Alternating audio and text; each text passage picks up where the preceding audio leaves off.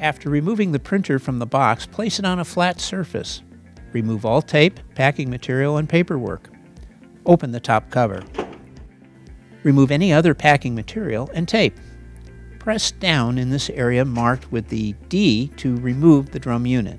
Do not touch this area. Cover the drum unit with a sheet of paper to protect the drum from damage. Open the front cover cassette. Pull this protective sheet out of the machine. Put the drum unit back into the printer. Be sure to align these pins with these slots on both sides of the unit. Press down on the blue D part of the drum unit until it clicks into place. A starter toner cartridge is supplied with the printer. Use it first before utilizing any purchased toner cartridges. Make note of the label warning which states this starter toner cartridge is used the first time your Kyocera printer is set up and turned on. Open the sealed toner cartridge package and remove the cartridge. Grasp the toner cartridge here and shake it back and forth at least five times. Remove the toner cartridge protective cover. Do not touch this area of the toner cartridge. Grasp the new toner cartridge at these points and align the guides at both ends with these slots in the printer. Press the levers down at both sides of the cartridge until it clicks into place. Close the top cover. Open the front cover or cassette. Pull the paper length guide called the stopper back. Remove the stopper from the paper length guide. Keep the removed stopper in a safe place. You may need it later for large format paper. Adjust the width guides to your paper size. They are located on both sides of the cassette. Be sure to keep paper below these marks. If you're using A4 letter or larger paper, pull out the paper length guide. Take the paper out of the package and fan it as shown. Tap on a solid surface to even the pages out. Load the paper in the cassette until the paper touches the far inner side. Pre-printed paper must be loaded printed side up. Make sure all guides are adjusted so no gap exists between the guides and the loaded paper. Load paper to below these tabs. The paper should not make contact with the tabs. To specify the paper size, push the power button located on the top of the printer. When the display shows 01, the printer is ready. We'll print out the internal status page. Pull out this paper stopper. Push the mode select key located here. Hold the button for 5 seconds. The machine will print out a status page which contains important information about your specific printer.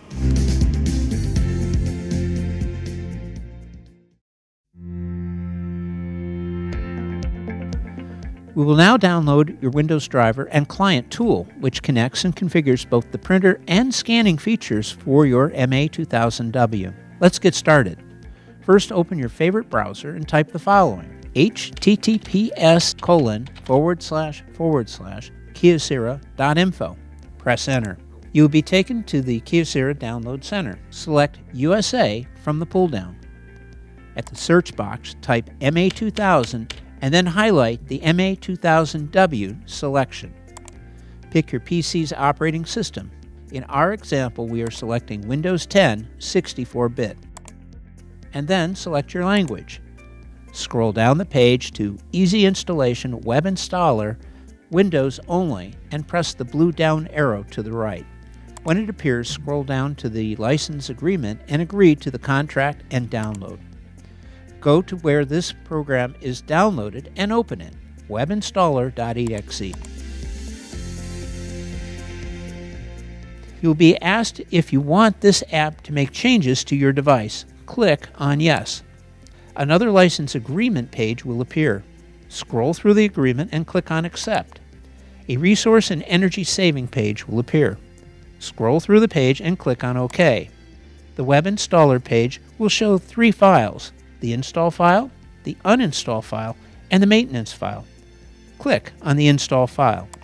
Your computer will now search your network for your new printer. This may take a few minutes look for the MA2000W icon entry and click to highlight. Click Next. In a few seconds, you'll be presented with the select components to install. Make sure all options are selected. The GX driver is the printer driver for this machine. The Twain driver will scan from Twain supported application. Fonts add additional printable characters not included in Windows. The Kyocera Client tool is used for scanning and should be checked for immediate installation. The NetViewer is optional. It provides real-time printer status pop-ups on your computer screen. If you wish to install this feature, check the box. Select Install on the bottom right of the screen. All components will download and install. Please be patient, as depending on the internet speeds, this process may take several minutes to complete. Do not stop the download or close the window.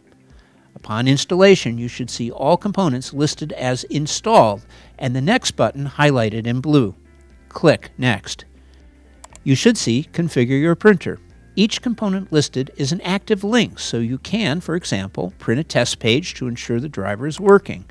Also, you can set your computer to use your Kyocera printer as your default printer. Note, the print test page will not print until the installation wizard is complete. Next select Open Client Tool to configure the scan feature. You should now see the Kyocera Client Tool window. On the top left side, you should see your new printer, Kyocera MA2000GX. If not, select it from the down arrow. Select Scan. You should see Preferences and Quick Scan Settings. First click on Preferences. Here you can set default settings for scanning. We recommend you set the original document size to letter. Also select whether you'll be scanning in color or black and white. You can also set resolution. For high resolution documents such as line drawings and detailed pictures, select 600 by 600. If you are routinely scanning documents such as letters and statements, 300 by 300 is recommended. The Sharpen pull-down will bring out faint features in certain documents. Select higher settings if you're using faded, gray, or poorly defined originals. Otherwise, leave it at the default, low. Original image are presets for different document types. If you think you'll be using mixed documents with text and photo, leave this as text and photo. Select text if your documents are mostly text and photo if you're mostly scanning photos. If unsure, just leave the setting as is. You can always change this setting anytime you wish to scan. Density will increase scanning decision making in the software. The higher the density, the more likely the scanner will find and scan small details, including imperfections in the original.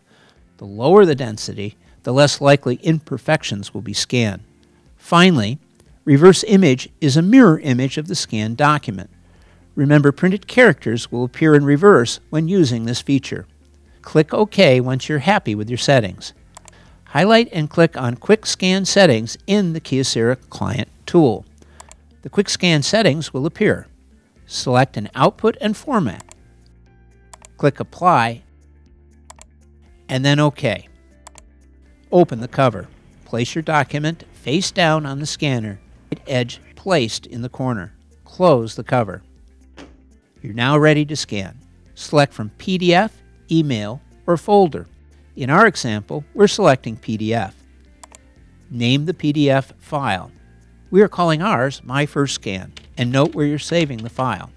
You can change this to whatever folder or directory you like. In our example, we are saving to Documents. Press Save. A progress bar will appear showing your scan in progress.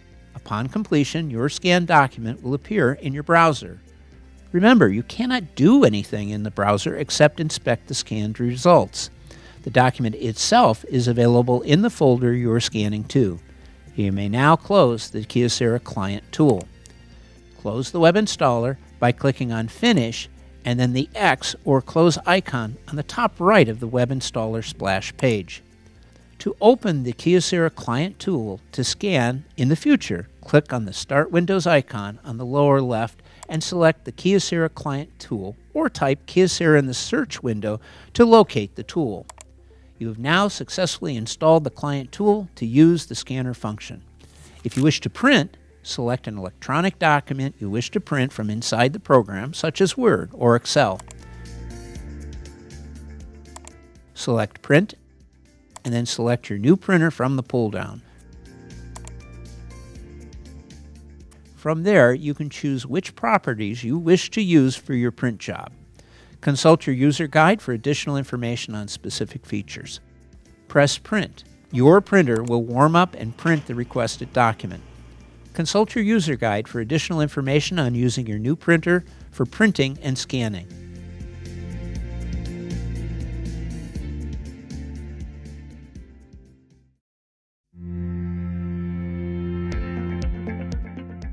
We will now show how to remove and replace the toner container. Open the top cover.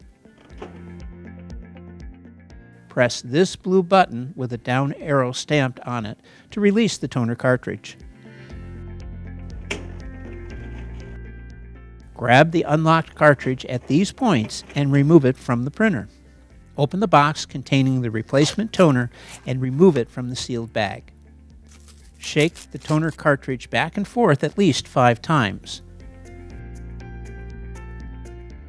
Remove this plastic protection cover from the toner cartridge as shown.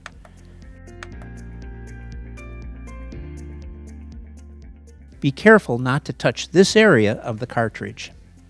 Hold the new toner cartridge at these points and align the guides on both the right and left sides with these slots in the printer.